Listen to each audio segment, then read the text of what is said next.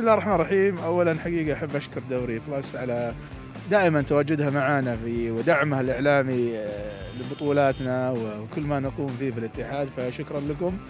وأيضا يعني أحب أشكر حقيقة آه، سمو أمير منطقة حايل وسمو نائبة وجميع القطاعات الحكومية والأهالي أخص الأهالي على حقيقة آه، كل التجهيزات اللي يقومون بها وكرم الضيافة والترحيب يرحبون فيه. فدائما حائل هي منطقة ال- الحقيقة اللي دائما تقدم لنا الكثير وحنا سعيدين إنه تستأنف الراليات في المملكة آه، من منطقة حائل وإن أيضا آه، عودة رالي حائل إلى بطولة العالم للراليات الباهة الصحراوية.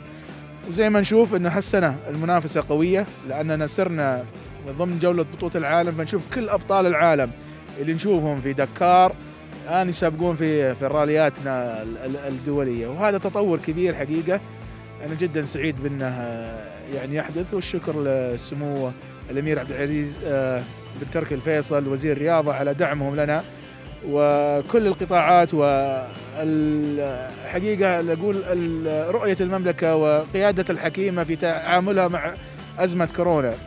إحنا نشوف البلدان كثيرة ألغت الراليات والفعاليات الرياضية لكن الحمد لله بفضل ال- ال- الحكمة والتخطيطات والإجراءات اللي أخذتها الدولة الآن رجعنا نستأنف آه، بطولاتنا العالمية. فالحمد لله رغم هالظروف الصعبة العدد كبير حتى المتسابقين عندنا الفئتين عندنا آه، بطولة العالم وعندنا أيضا عشان كمان ما نعطي الفرصة للسائقين المحليين البطولة المحلية. فالمنافسة قوية جدا على حسم لقب بطولة العالم وأيضا بين المتسابقين وإن شاء الله نتمنى للمتسابقين التوفيق خصوصا إن الماريو الرالي يمر بمراحل ومناطق متنوعة حيعطي نوع من التحدي فأتمنى إن شاء الله التوفيق وسباق ممتع للجديد.